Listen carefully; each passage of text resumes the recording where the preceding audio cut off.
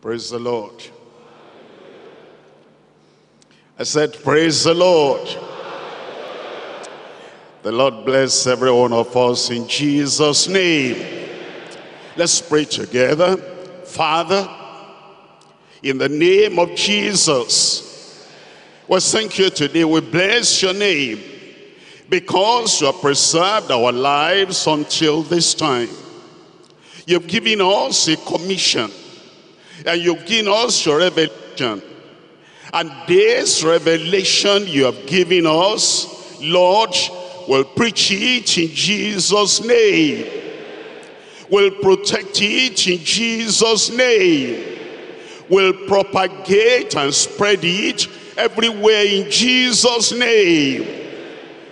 The strength, the courage, the backbone, to earnestly contend for the faith you give to every one of us in Jesus' name. We will not fade out by the wayside. We will not fall.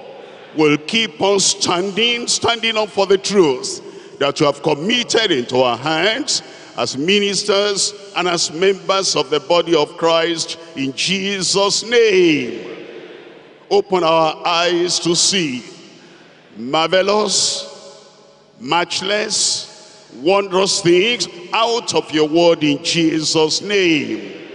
We thank you because we know you have answered. In Jesus' name we pray. We're coming to Jude, verses 3 and 4. Jude, verses 3 and 4. Beloved, when I gave all diligence to write unto you of the common salvation, it was needful, necessary for me to write unto you and exhort you that ye should earnestly contend for the faith which was once delivered unto the saints. Verse 4. For there are certain men crept in unawares, who were before of old ordained to this condemnation, ungodly men, turning the grace of our God into lasciviousness, and denying the only Lord God and our Lord Jesus Christ. In verse 4, you see one of the things were called upon to defend, to preach, to promote, and to protect. It's the grace of God. Look at that verse in the middle. Ungodly men turning the grace of our God into lasciviousness. And that's what we need to protect. The grace of God. Without that grace of God, we don't have salvation. Without the grace of God, we don't have his favor. And we don't have his mercy.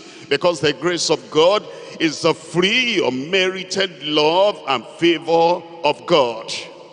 And if anyone comes and he turns that grace of God upside down, and he turns it into lasciviousness, then we've lost the very source and the very foundation of what God wants to do in our lives.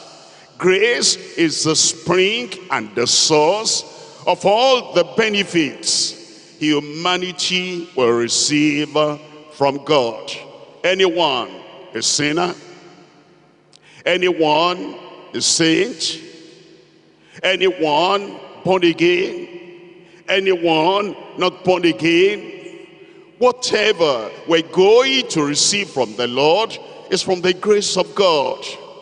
And if that grace is turned unto lasciviousness, and the grace is made cheap, and the grace is mutilated, then we will not be able to have what we ought to have.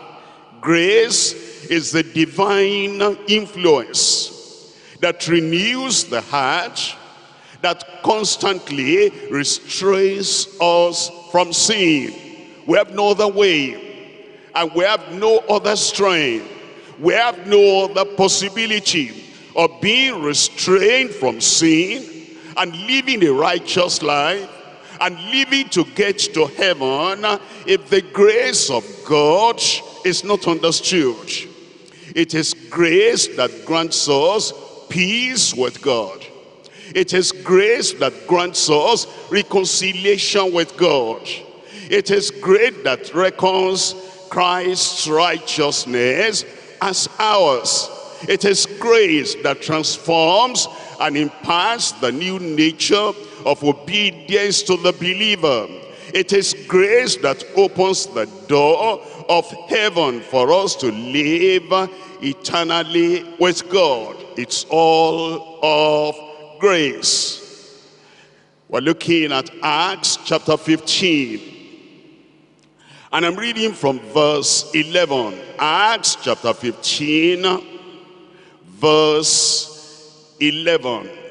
In verse 11, but we believe, we Jews, Peter was saying, we Jews believe that through the grace of the Lord Jesus Christ, we, the Jews, shall be saved even as they, the Gentiles.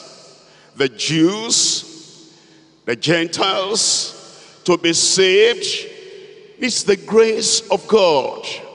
And he said, this will believe.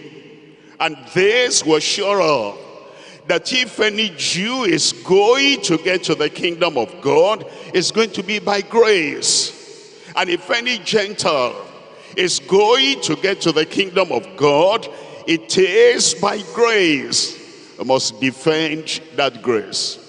Protect that grace. Understand that grace earnestly contend for that grace. Chapter 11 of Acts, Acts 11, verse 23. Who when he came and had seen the grace of God, when he came, he had seen the grace of God.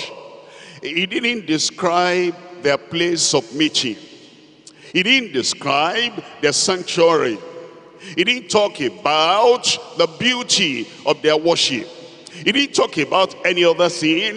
He said this is what he saw. The grace of God. He was glad and exhorted them all that with purpose of heart they would cleave unto the Lord. Whatever we have as a church whatever we have as a part of the body of Christ. If the grace of God is not seen at the foundation of the ministry, if the grace of God is not seen as to the preaching of the word of God, if the grace of God is not seen as to what we believe and the essence of what we emphasize, then all is lost. Look at what he saw. Who, when he came and had seen the grace of God, was glad. How did he see that? He saw that in what he said. He saw that in the way they expressed their confidence of getting to heaven. That it is not by the works of their hand he rejoiced and was glad because he saw that they based everything in their lives and they based all their teaching and they based all their conviction on the grace of God. And he was glad. The Lord will be glad concerning us. Acts chapter 13 verse 43.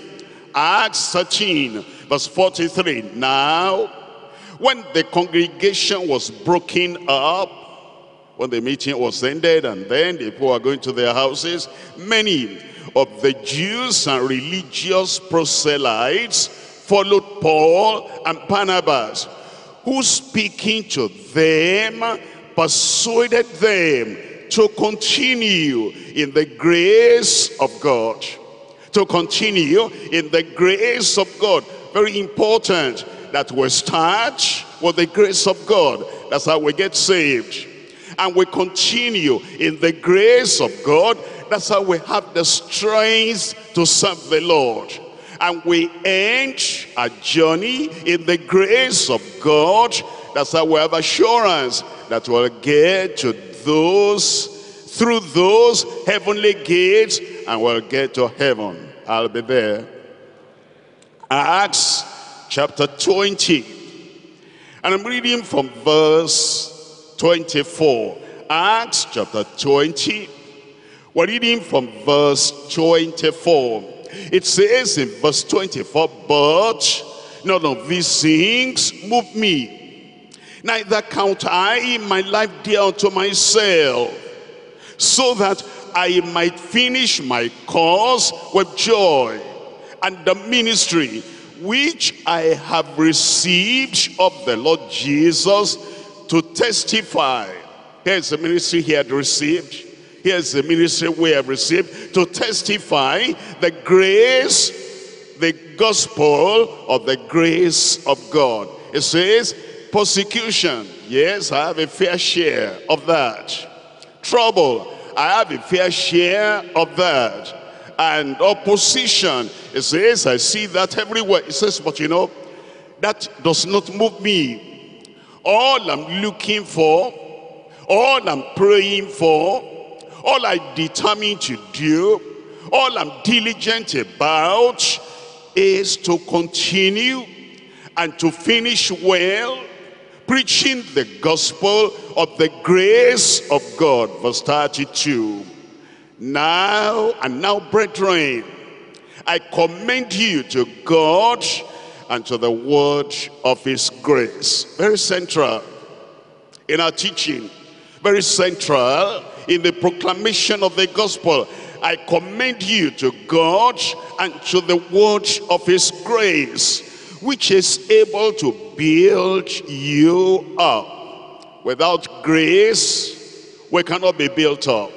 It's the word of his grace that builds us up and to give you an inheritance among all them which are sanctified by faith. Sanctified in Christ, through Christ, by Christ, and through our faith. You see the centrality and the importance of the grace of God. Tonight we're looking at the message, the marvelous matchless grace of God.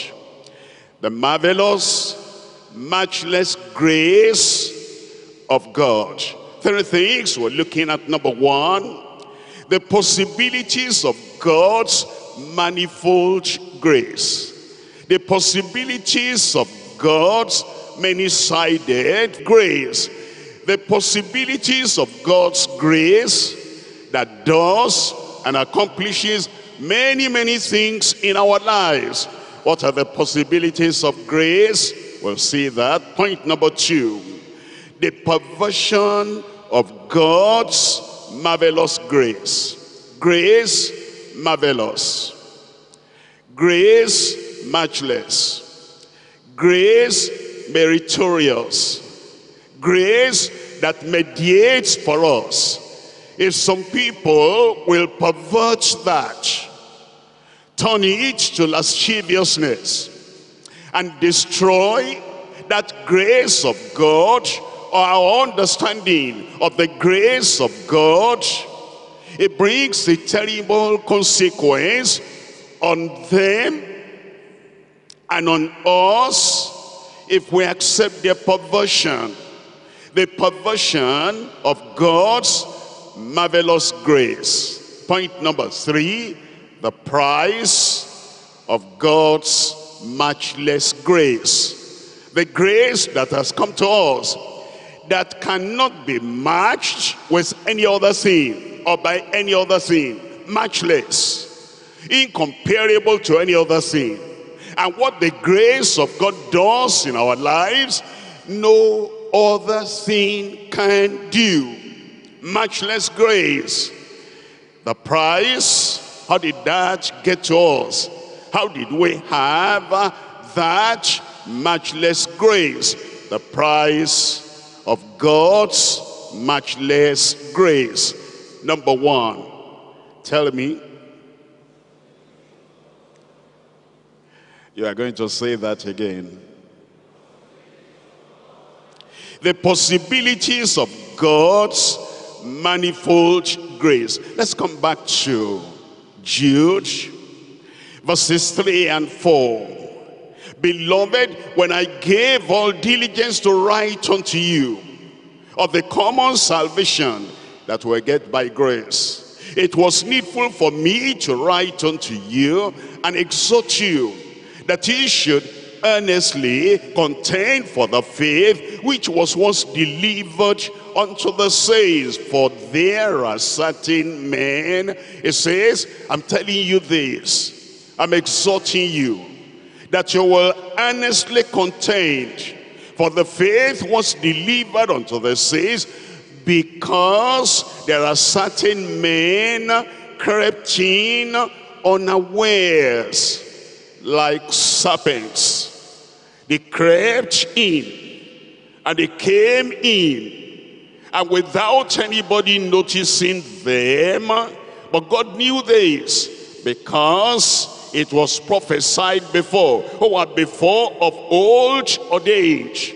to this condemnation ungodly men they are turning the grace of our God into lasciviousness and denying the only Lord God and our Lord Jesus Christ. Manifold grace, First Peter chapter 4.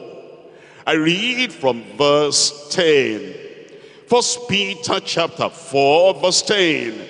As every man has received the gift, free gift, even so minister the same one to another as good stewards of the manifold grace of God. The manifold grace of God. Second Corinthians chapter 9. We're reading from verse 8.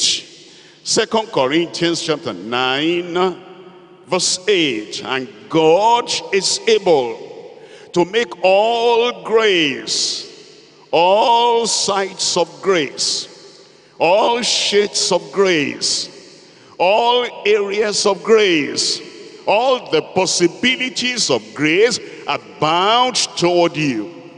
That he always having all sufficiency through that grace. We have all sufficiency in all things may abound to every good work. Whatever God has ordained for us to do every good work, there is grace available to get it done.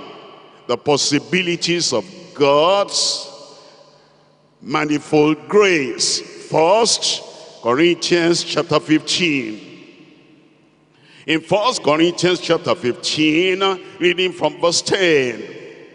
But by the grace of God, I am what I am Paul says, am I a teacher of the word? He says, by the grace of God, I am what I am. Am I a minister, an effective minister? He said, that's not my strength.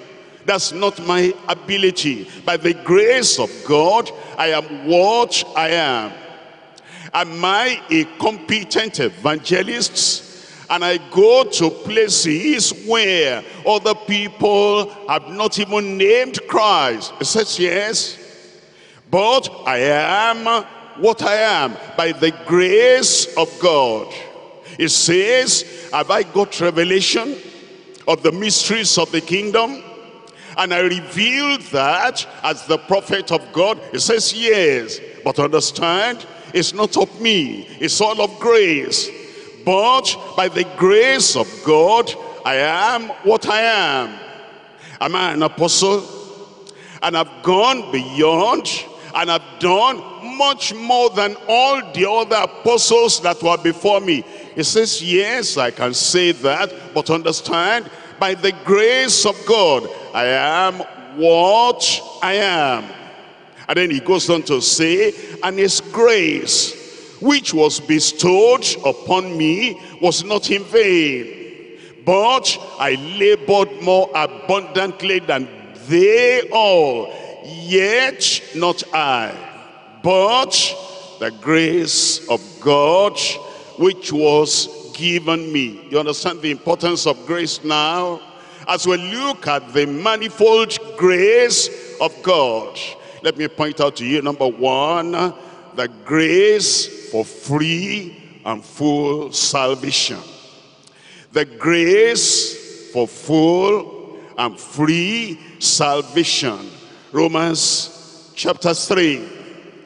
And I'm reading from verse 23. Romans chapter 3. We're reading from verse 23.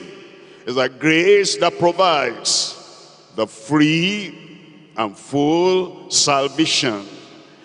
In Romans 3.23, for all have sinned and come short of the glory of God. All have sinned. And no one will be able to have salvation except by the free gift of God, grace of God. Verse 24, being justified freely by his grace. No salvation without that grace that is free.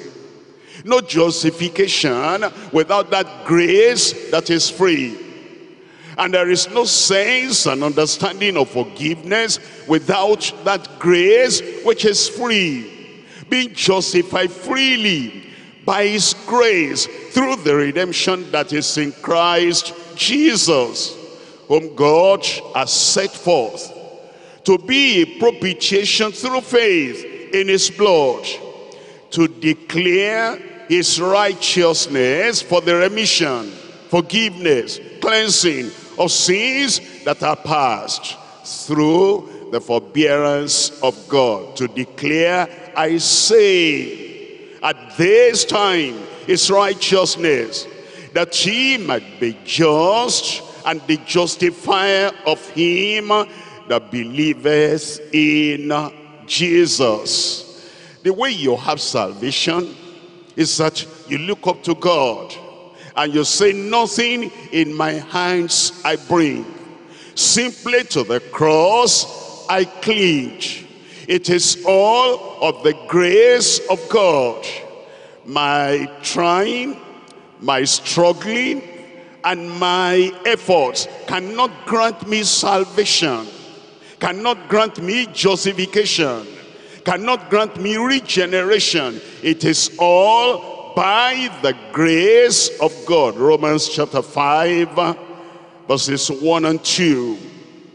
Romans chapter 5, verses 1 and 2. Therefore, be justified by faith, we have peace with God through our Lord Jesus Christ, by whom also we have access by faith into this grace. We have access. We're able to enter in into the kingdom. And we have freedom now, forgiveness now, salvation now. By this grace wherein we stand and rejoice in the hope of the glory of God. Tells us in Ephesians chapter 2. Ephesians chapter 2, by grace. Reading from verse 1. And you, as he quickened, who are dead in trespasses and sins. Think about this. How can a dead man produce the action that will make him come back alive. No, not possible. He's dead. And he wants to come back to life. Even the desire is dead. The ability, that's dead. Skill, that's dead. It says every sinner is dead. and for him to come back to life, the life of God. That is not going to be on the basis of the action of a dead man, dead in the soul, dead in the spirit, and dead in his conscience. It says, and you as he quickened, he has to do it. Who are dead in trespasses and sins wherein in time past ye walked according to the course of this world, according to the prince of the power of the air, the spirit that now walketh in the children of disobedience. He said, the prince of the power of the air has held every sinner captive. And in that cage, in that imprisonment, he cannot free himself only grace will do it. Verse 3, among whom also we all had a conversation in times past in the lust of our flesh, fulfilling the desires of the flesh and of the mind, and were by nature the children of death, even as others. By nature, as the fish by nature swims, as the bird by nature flies, as the lion by nature devours other animals, so man by nature, the sinner by nature sins. And he cannot go against his nature. Then he says in verse 4, but God. Would have been lost, but God. We would have continued in our degradation, but God, who is rich in mercy, for his great love, wherewith he loved us, even when we were dead in sins, as quickened us together with Christ. By grace are ye saved. Preach that grace. Publicize that grace. Expound that grace. Tell the sinner about that grace. And show every guilty one that it is grace that will bring them out of that guilt. By grace are ye saved. Verse 8, for by grace are ye saved through faith, and that not of yourselves, it is the gift of God, not of works, not anything you have done, not anything you're doing, not, not anything you have achieved, not anything you will achieve. Salvation is all of grace, not of works, lest any man should boast. For we are his workmanship, created in Christ Jesus unto good works, which God has before ordained that we shall walk in them. The possibilities of God's manifold grace. Number one, the grace for free and full salvation. Number two, the grace for faithful and fruitful service. The grace for faithful and fruitful service. Titus chapter 2 verse 11.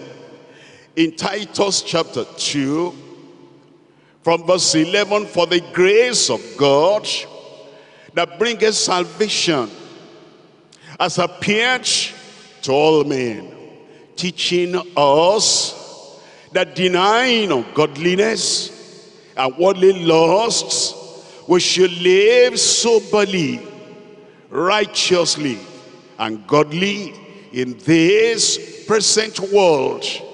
Our lives begin to serve the Lord as our light shines and we live a life that is free from ungodliness free from worldly lust, that is sober and righteous and godly in this present world as our light begins to shine. And we're living the victorious life, then people begin to notice that. And our life is rendering service unto the Lord, bringing others to salvation. Then it says, looking for that blessed hope and the glorious appearing of the great God and our Savior Jesus Christ, who gave himself for us and is still all by grace. This is what we receive still by grace, who gave himself for us, that he might redeem us from all iniquity and purify unto himself a peculiar people zealous of good works. Now we can serve the Lord. And our zeal, all by grace. Our fervency, all by grace. Our desire to see other people saved, it's all by grace. It's not something we generated in our hearts by ourselves.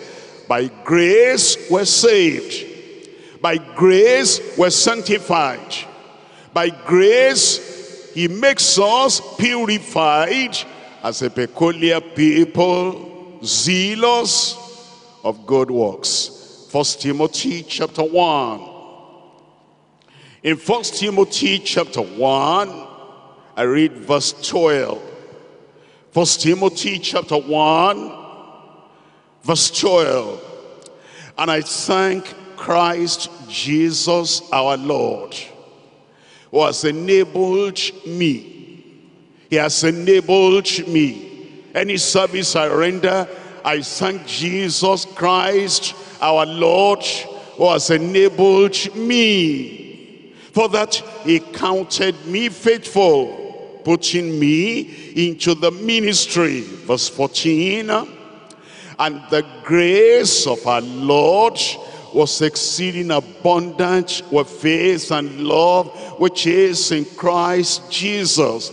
I mean the ministry because the grace of our Lord was exceeding abundant towards me. Verse 16, howbeit, for this cause I obtained mercy, the grace of God, that in me first Jesus Christ might show forth all long suffering for a pattern to them which should hereafter believe on him to life everlasting. Says this all by grace.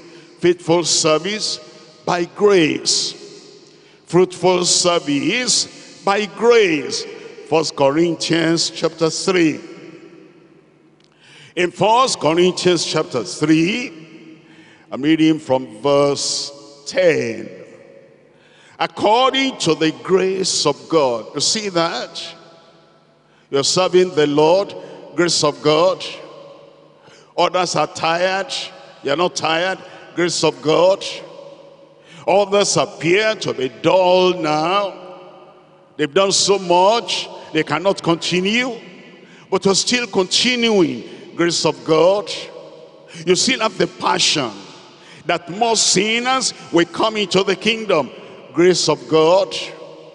And you're preaching and preaching and preaching without relenting. Grace of God.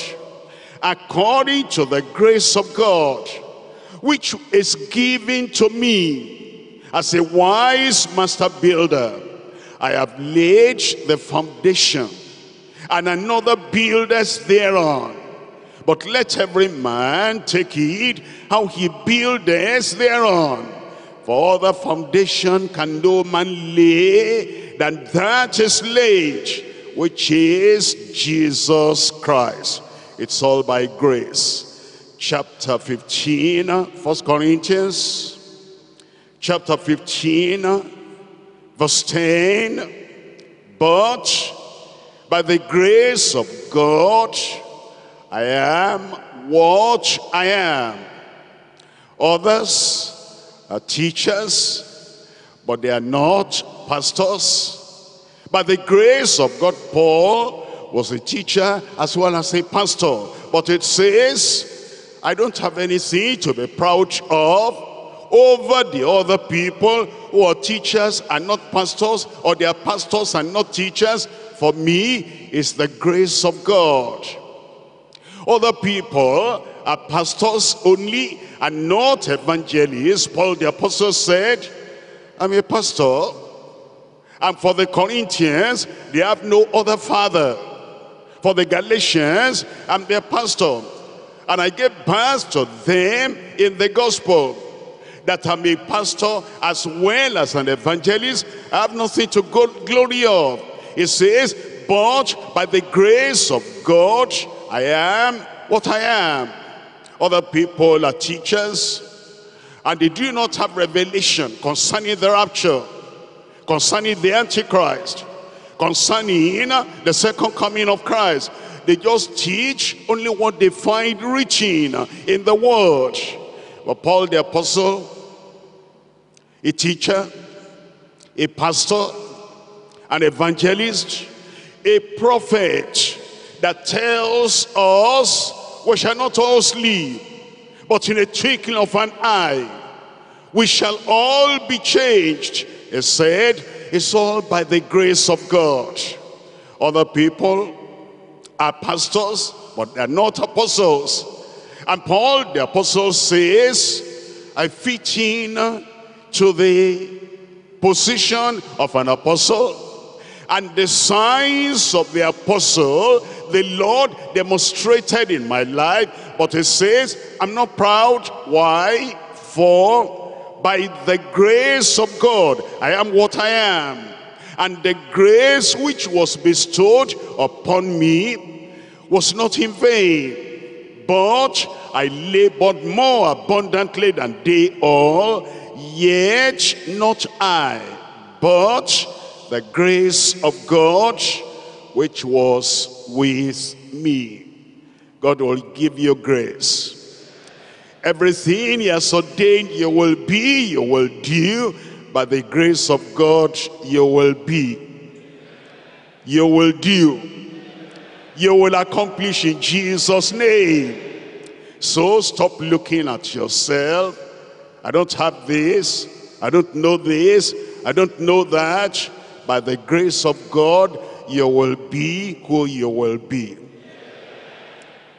Hebrews chapter 12, verse 28.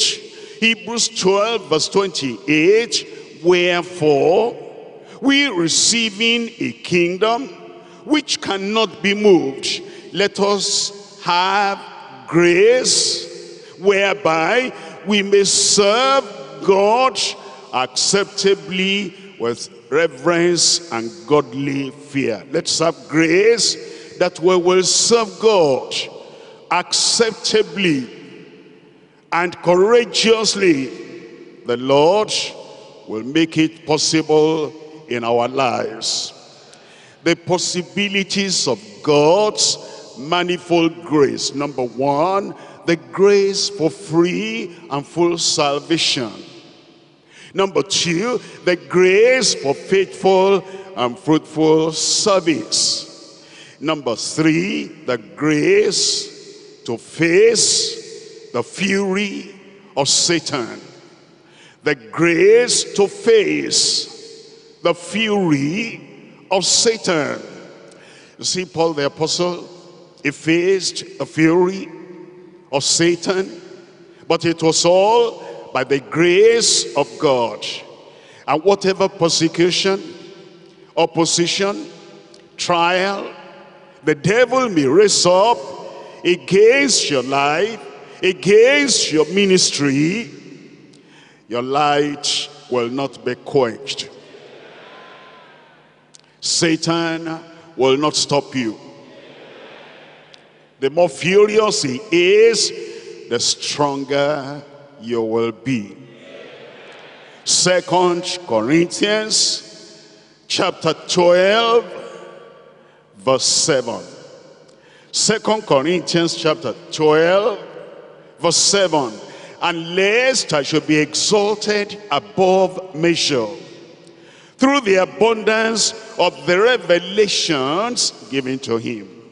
There was given to me a son in the flesh, the messenger of Satan, to buffet me, lest I should be exalted above measure. And for this sin I besought the Lord thrice, that each might depart from me. Paul the apostle said, I have received abundance of revelation. And you can see he wrote Romans, First Corinthians, Second Corinthians, Galatians, Ephesians, Philippians, Colossians, and then uh, began to write to the various churches. First Thessalonians, Second Thessalonians, First Timothy, Second Timothy, Titus, Philemon, Hebrews, and all the other apostles put together. They did not write as much revelation as he wrote. And he said, it's all by the grace of God. And because of that, Satan fought him. But he won. I see a winner there. I see a conqueror there. Satan concentrated on this man and buffeted him and buffeted him. And he prayed once, second time, third time. Look at verse 9. And he said unto me, My grace is sufficient for thee his grace is sufficient for you. Whatever happens to your family, grace will be sufficient. In your place of work, grace will be sufficient.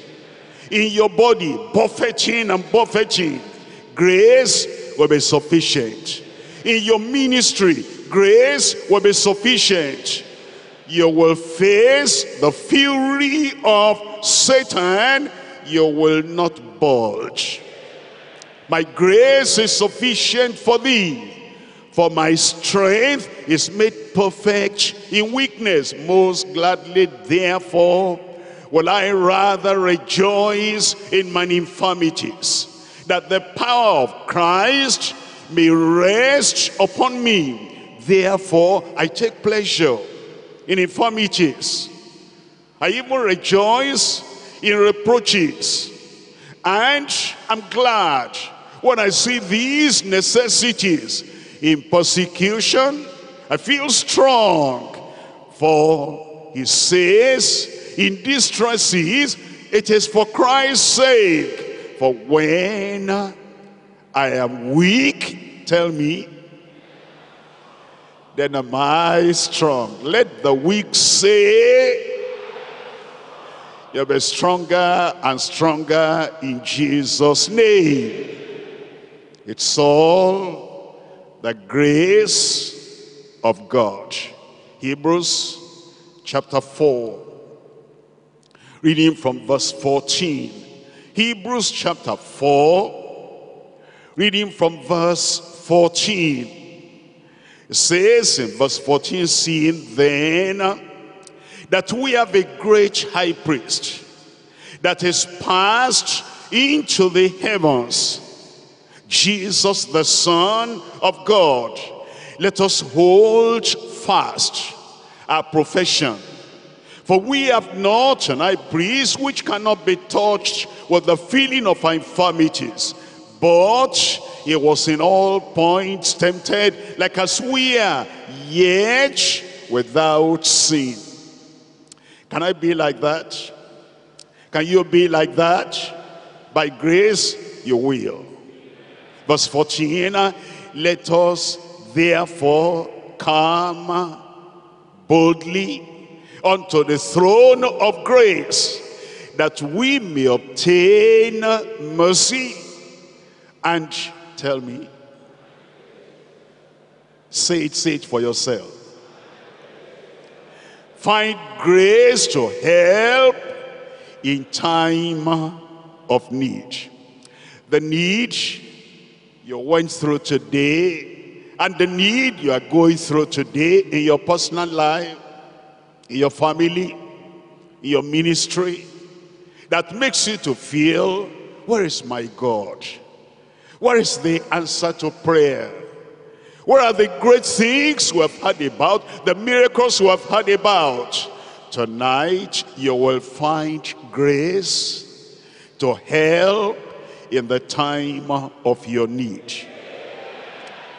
What you might face tomorrow in the ministry, what you might face any time in your life, from now till you pass on to glory, nothing will ever happen that will swallow you up. You will find grace to help in the time of your need in Jesus' name. I rejoice with you.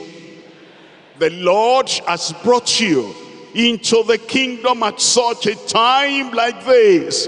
You'll be growing stronger and stronger in your life in Jesus' name. Let's come back now to Jude. And we're reading from verse 4. Point number two, the perversion of God's marvelous grace. The perversion of God's marvelous grace. Look at verse 4. For there are certain men crept in unawares, who were before of old ordained to this condemnation. Ungodly men turning the grace of our God into lasciviousness and denying the only Lord God our Lord Jesus Christ. The perversion of God's matchless grace. Number one, the perversion of the saving grace is the grace of God that brings salvation. But that grace of God that brings salvation teaches us that we deny ungodliness, we will not continue in sin. But there are people that creep in into Christian assemblies and they turn the grace of God into lasciviousness. Look at Mark chapter 7, reading from verse 21 turning the grace of God into lasciviousness. Mark 7, 21. For from within, out of the heart of men, proceed evil thoughts, adulteries, fornications, murders, thefts, covetousness, wickedness, deceit, tell me the next word, lasciviousness, an evil eye, blasphemy, pride, foolishness, all these evil things come from within and defile the man. There are some people that say, we're saved by grace. And grace is in our lives. And so lasciviousness, theft, fornication, adultery, deceit, wickedness, sinfulness, worldliness, everything can remain, it doesn't matter. They turn the grace of God into lasciviousness. They pervert the gospel. Galatians chapter 5. I read from verse 19. Galatians chapter 5. I'm reading from verse 19. In verse 19, now the works of the flesh are manifest. Which are these? Adultery, fornication, uncleanness. Tell me the next word lasciviousness, idolatry, witchcraft, hatred, variance, emulations, wrath, strife, seditions, heresies, envyings, murders, drunkenness, revilings, and such like, of the which I tell you before, as I have also told you in time past, that they which do such things shall not inherit the kingdom of God. There are people that creep in into the assembly of the people of God. And they say whatever they preach, holiness without which no man shall say the Lord, I know I have the grace of God. And whatever I do, idolatry, witchcraft, heresy, hatred, wickedness, fornication, adultery, they say it doesn't matter. The grace of God is there. Those are the people, they cannot inherit the kingdom of God as they continue in that perception of the grace of God. They're turning the grace of God into lasciviousness. Ephesians chapter 4. I read from verse 19. Ephesians chapter 4, verse 19. Who being past feeling have given themselves over unto lasciviousness to work all uncleanness with, with greediness. These ones, their consciences are dead and they have no feeling anymore. They sin with impunity and it says they have no feeling that they are, they are not guilty about anything. And it says lasciviousness is come into their lives. They work all uncleanness with greediness. And they still profess they have the grace of God. Those are the people, they turn the grace of God into lasciviousness. First Peter chapter 4. I read from verse 3. First Peter chapter 4. Reading from verse 3.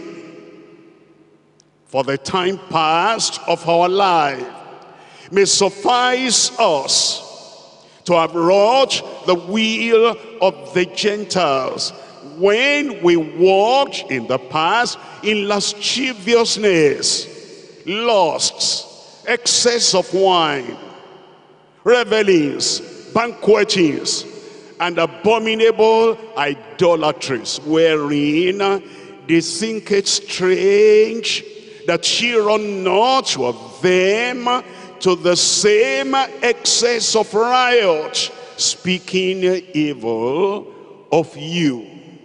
Those who say they have grace, they're saved, they're eternally secured, as they have been saved once, even though they have lapsed into lasciviousness, they say it doesn't matter. And they look at those of us who avoid and flee all the works of the flesh. Oh, they say that's legalism.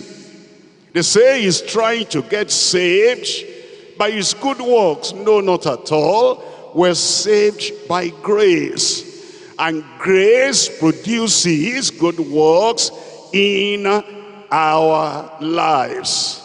The perversion of saving grace. Number two, the peril of cheap sinning grace. The peril of cheap sinning grace. Look at Romans chapter 6. Romans chapter 6, we're reading from verse 1. What shall we say then? Shall we continue in sin that grace may abound? What's the answer? God forbid. How shall we that are dead to sin live any longer therein. Know ye not that so many of us, as were baptized into Jesus Christ, were baptized into his death? Therefore, we are buried with him by baptism into death, that like as Christ was raised up from the dead by the glory of the Father, even so we also should walk in newness of life. You've got the grace of God, walk in newness of life. Don't pervert the grace of God. For if we have been planted together in the likeness of his death, we shall be also in the likeness of his resurrection. Knowing this, that our old man is crucified with him, that the body of sin might be destroyed, and henceforth we should not serve sin. You will not serve sin. For he that is dead is freed from sin. Verse 11, likewise reckon ye also yourselves to be dead indeed unto sin, but alive unto God. Through Jesus Christ our Lord, let not sin therefore reign in your mortal body, that ye should obey it in the lust thereof. Verse 14, sin, for sin shall not have dominion over you. Sin shall not have dominion over me. For ye are not under the law, but under grace. For those who are under grace, sin shall not have dominion over them. What then? Shall we sin? Because we're not under the law, but under grace was the answer. God forbid. Know ye not that to whom ye yield yourselves servants to obey, his servants ye are, to whom ye obey, whether of sin unto death. If a believer, a child of God, who has been saved by grace, if he goes back to sin, it says you become a servant to whom you obey, whether of sin unto death, of obedience unto righteousness. But God beside that ye were servants of sin were in the past, but ye have obeyed from the heart that form of doctrine which was delivered unto you, being then made free from sin, ye became the servants of righteousness. Amen. There's those who pervert the grace of God and they make it sinning grace. There's peril for them. Galatians chapter 1, verse 6. Galatians 1, verse 6. I marvel that ye are so soon removed from him that called you into the grace of Christ. He called you into the grace of Christ, but now you are so soon removed to another gospel. Some people say, once you are in, you're always in. Look at this. They were removed from him that called them into the grace of Christ unto another gospel, which is not another. But there be some that trouble you and would pervert the gospel of Christ. But though we or an angel from heaven preach any other gospel unto you than that which were preached unto you, let him be accursed. As we said before, so say I now again, if any man preach any other gospel unto you than that ye have received, let him be accursed. Hebrews chapter 12, verse 15. Hebrews 12, 15. Looking diligently, lest any man fail of the grace of God. People tell us in their false doctrine, nobody can forfeit the grace of God. You're saved by grace, you're always saved. No, those are perverters of the gospel.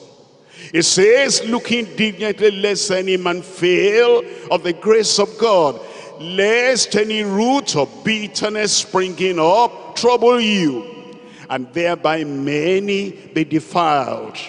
Lest there be any fornicator or profane person as Esau, who for one morsel of meat sold his birthright. For ye know that afterward, when he would have inherited the blessing, he was rejected, for he found no place for repentance, though he sought it carefully with tears. One, the perversion of saving grace. Two, the peril of cheap sinning grace. Three, the perdition for superficial grace. The perdition for superficial grace. For the people that say they hold the grace of God, but so superficial. It doesn't have a transforming effect in their lives. And they're saying, they're saved, forever saved. Grace is still there. Although every form of sin and lasciviousness is being practiced by them.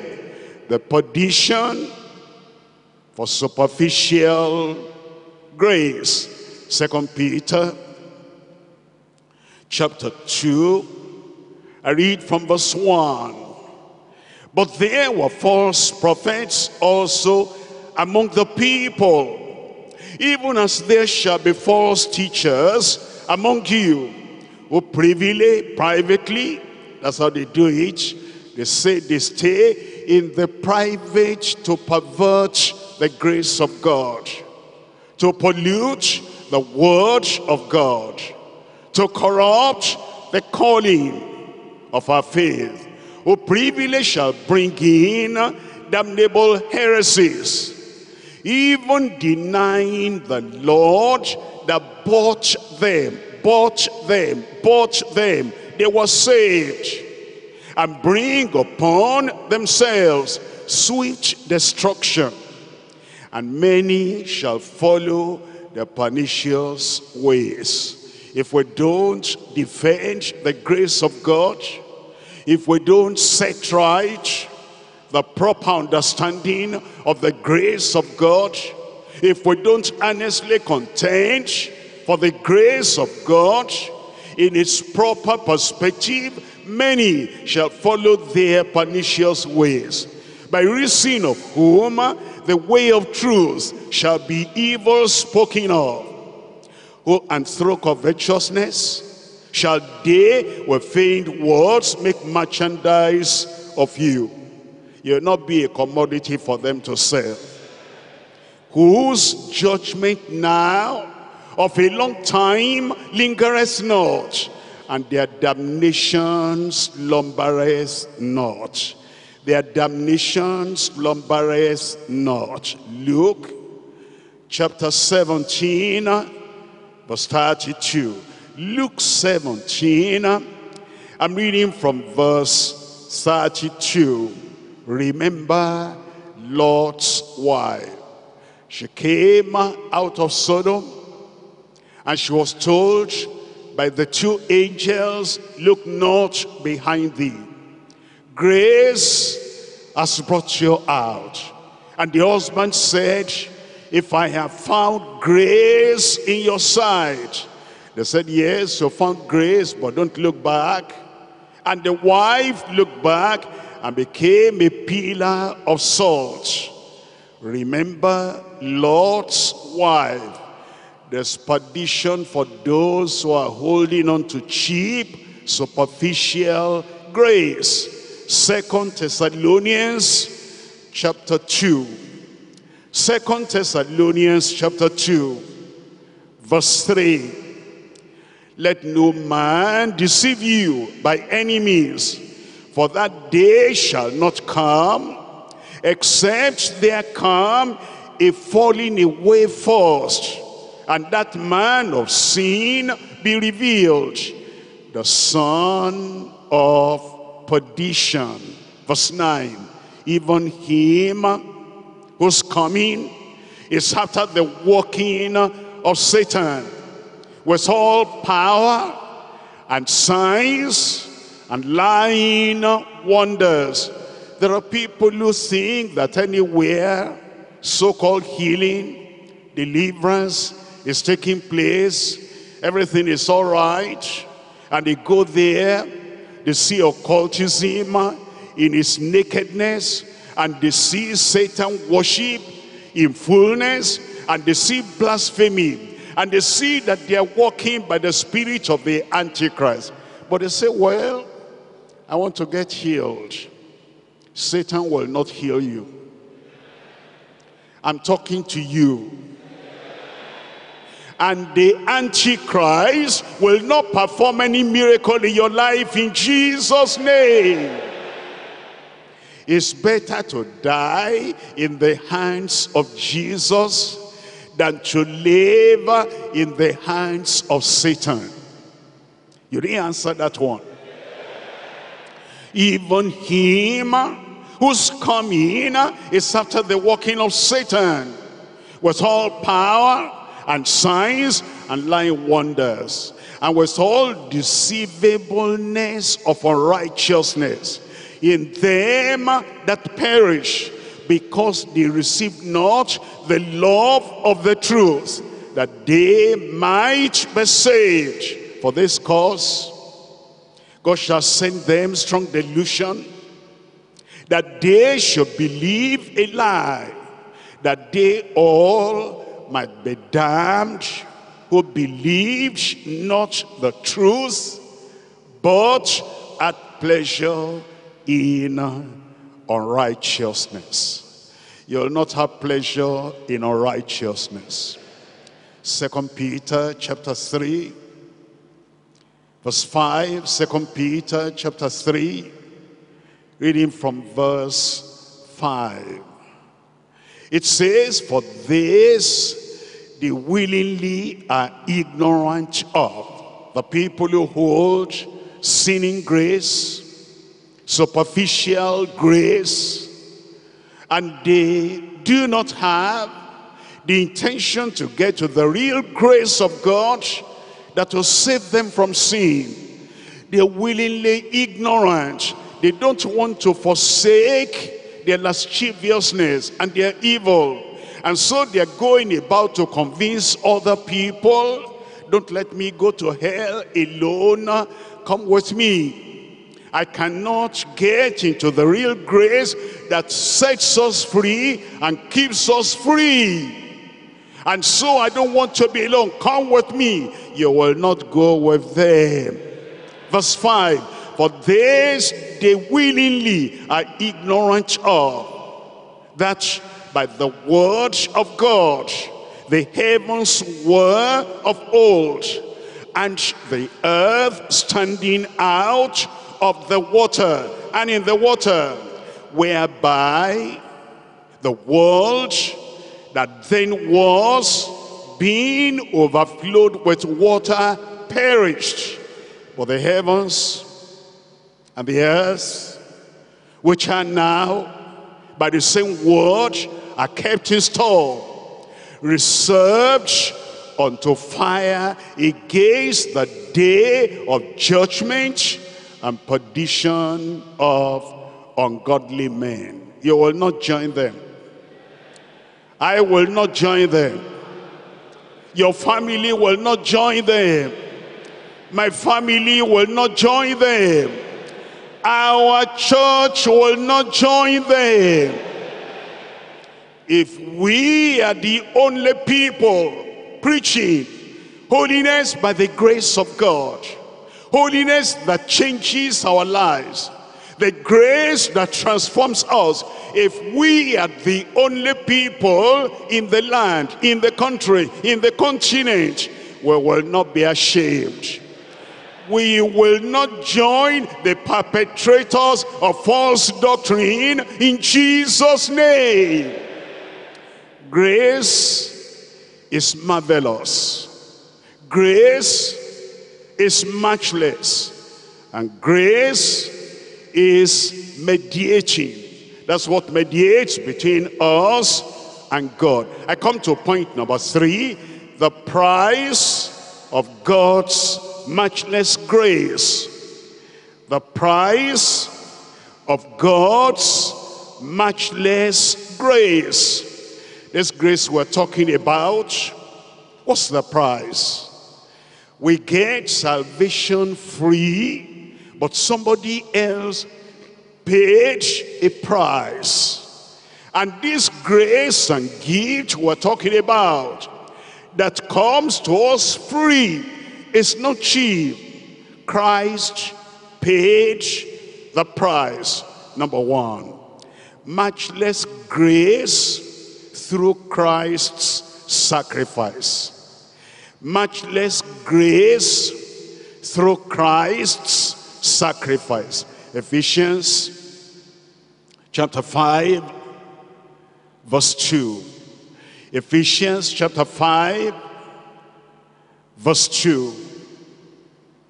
And walk in love, as Christ also has loved us, and giving himself for us as an offering and a sacrifice to God for a sweet smelling savor. That grace was paid for by Christ, by sacrifice. But fornication and all uncleanness or covetousness, let it not be once named among you as becoming saints, neither filthiness, nor foolish talking, nor jesting, which are not convenient, but rather giving of thanks. Hebrews chapter 9. Hebrews chapter 9, much less grace through Christ's sacrifice. Hebrews chapter 9, verse 26. For then must he often have suffered since the foundation of the world. But now, once in the end of the world, as he appeared to put away sin by the sacrifice of himself. That's what he did. Sacrifice of himself. And because of that sacrifice, that's why you want to treasure that grace of God, knowing Christ paid for that grace by a sacrifice. Chapter 10, verse 12. Hebrews chapter 10, verse 12. But this man, after he had offered one sacrifice for sins forever, sat down on the right hand of God. He offered one sacrifice, and it is that sacrifice that has purchased for us the matchless grace we're talking about. Hebrews chapter 2, verse 9. Hebrews 2, verse 9.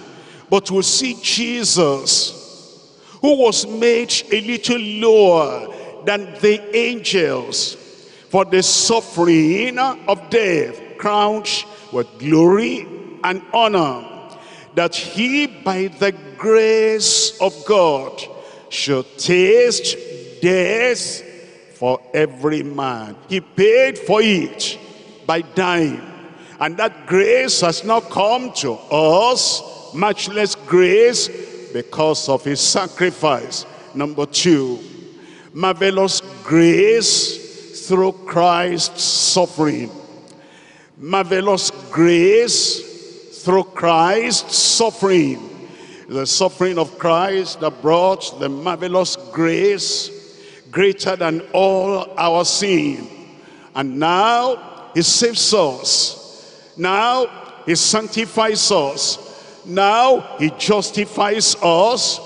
Now he purifies us because he suffered to grant us marvelous grace. Luke chapter 24, verse 46, and said unto them, Thus it is written, and thus it behooved Christ to suffer and to rise from the dead the third day. He suffered and he rose the third day. And that repentance and remission of sins should be preached in his name among all nations, beginning at Jerusalem. As we talk to people about repentance, and faith in Christ and tell them salvation is available through the marvelous grace of God. Let's remember Jesus paid for that was suffering that no tongue can tell. Acts of the Apostles chapter 3. Acts chapter 3. We're reading from verse 18. Acts chapter 3 from verse 18 in verse 18, uh, but those things which God before had showed by the mouths of all his prophets that Christ should suffer. He has so fulfilled. All the prophets spoke about that. That the Lamb of God will suffer and thereby take our sins away. And it is that suffering that knew no limitation, that now makes salvation available. It's a great prize, marvelous grace through Christ's suffering. Repent ye therefore. Because of that price, repent ye therefore. Because of his suffering, repent ye therefore. Because of the price Christ has paid, to grant you this salvation by grace. Repent ye therefore and be converted that your sins may be blotted out when the times of refreshing shall come from the presence of the Lord. Verse 26, unto you first, God, having raised up his son, Jesus, sent him to bless you in turning away every one of you from his iniquity. That's what grace does. Grace does not leave us in sin where it met us. Matchless grace, marvelous grace, mediating grace will not leave us in sin. Unto you first, God, having raised up his son, Jesus, sent him to bless you in turning away every one of you from his iniquity. It tells us in Acts chapter 17, Acts chapter 17, verse 3. Acts 17, verse 3, opening and alleging that Christ must needs have suffered to grant us salvation. Christ must needs have suffered. To take away our sins, Christ must needs have suffered. It was a necessity. That's how the grace of God came to us free. He paid the whole price, opening and alleging that Christ must needs have suffered and risen again from the dead. And that, and that this Jesus whom I preach unto you is the Christ. Is Christ. What's the consequence? Verse 30. Verse 30. And in times of this ignorance, God winked at. But now commandeth all men everywhere to repent. There are people who say, Christ has paid the price. Christ has suffered. We don't have to repent. Just believe. Just believe. And whatever sin you commit now, even after believing, God doesn't see your sin anymore. He has, uh, he's looking at you through Christ so you can continue in sin. He has forgiven your past sins, your present sin, your future sin, blasphemy. It says, because he has paid the price, the times of your ignorance he winked at. And now he says, now he commandeth all men everywhere to repent because he has appointed a day in the which he will judge the world in righteousness by that man whom he has ordained, whereof he has given assurance unto all men in that he has raised him from the dead. Number three, mediating grace through Christ's sorrow. Mediating grace through Christ's sorrow. You know the price he paid? He paid the price was sorrow, sacrifice, suffering, sorrow. That's why we don't toy with grace. We don't toy with the salvation that grace has brought. Matthew chapter 26. Matthew 26, verse 37. And he took with him Peter, and the two sons of Zebedee. And he began to be sorrowful and very heavy. He was going to pay the price for salvation. Sorrowful, very heavy. Then says he unto them, My soul is exceeding sorrowful, even unto death. Tarry ye here and watch with me. You cannot toy with the grace of God if you understand what sorrow Jesus went with. You cannot hold grace in one hand and all your sins with the other hand if you know what sorrow Jesus went through. In Luke chapter 22, Luke chapter 22, I'm reading from verse 41. Luke 22, verse 41. And he was drawn from there about a stone's cast and kneeled down and prayed, saying, Father, if thou be willing, remove this cup from me. Nevertheless, not my will, but thine be done. And there appeared an angel unto him from heaven, strengthening him, and being in an agony when he was to pay the price, looking forward to the cross. How he will bear that. All the sins of the world, of the people of the world, being an agony. He prayed more earnestly.